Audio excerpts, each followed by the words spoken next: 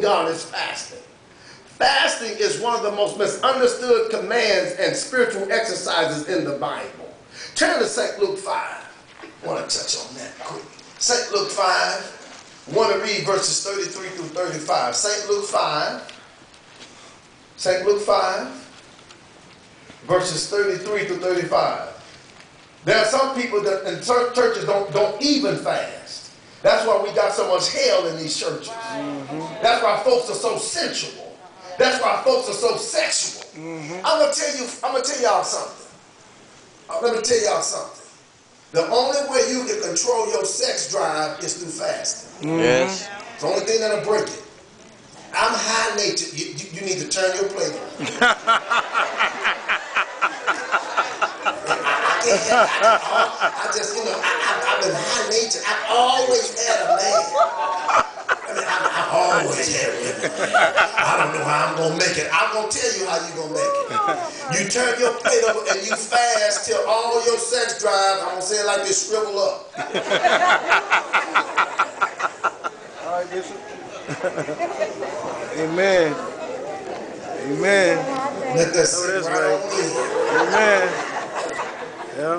Fast till that sex demon gets broken off you. Mm. I'm telling you, there's a sex spirit out today, y'all. Did you know that? Yeah. And the yes. only way you can get the victory over this, you got to fast and pray. Mm-hmm. Those of you that are wrestling with your, your humanity, you're wrestling with, with fornication, you're wrestling with adulterous spirits, you're wrestling with homosexual spirits. You're wrestling with lesbian demons. You're wrestling with debauchery.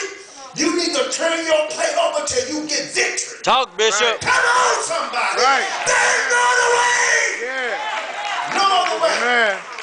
You can't even break that spirit. Come on. You got to break that demon off you. It's a spirit. Yeah. Come on, somebody. Amen. That's sex spirit in the air. All right? St. Luke 5, verse 33. Watch what the Bible says. St. Luke 5, 33. Watch. Watch. And they said unto him, unto Jesus, Why do the disciples of John fast often and make prayers, and likewise the disciples of the Pharisees, but thine eat and drink? Man, they had the power with them. Uh-huh. That's why they didn't have to do it. Mm-hmm. They had the power source working with them. Mm-hmm. Watch what Jesus said. And he said unto them, Can ye make the children of the bride chamber fast while the bridegroom is with them? Jesus was the bridegroom. He was with them. So you can't make them fast because I'm here with them. I, am here. I gave them the authority. Yes. And I'm the power source here on earth. Watch. But the days will come. Look at somebody say, and those days are now. And those, those days, days, are now. now. Say it again. And those, those days, days, are now. One more time. And those days are now. When the bridegroom shall be taken from them. How many know Jesus was taken from us? Uh-huh. Watch. And then they shall what? Fast in those days. They gonna fast. How many know right. those days now? That's right. How many know when those days now? Now you can call Jesus all you want. But the Lord said the key is to, uh, to turn your plate over and fast. Every child of God, if you are physically able to turn your plate over and fast, it is a biblical command.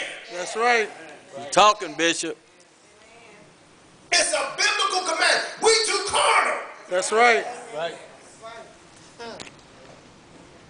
I fully expect through prayer, and some of you that got physical conditions, you consult your doctors, but I fully expect in, in the month of January, some of y'all to fast 7, 14, 21, 30, 40 days. I fully expect it. Mm-hmm. Amen. You want something big from God, you got to give God something big. Come on. Come you on. ain't going to die. The devil's a liar. Right. Come on, Bishop. You just going to get victory over yourself. That's right some of y'all looking at me like I stepped off of Mars.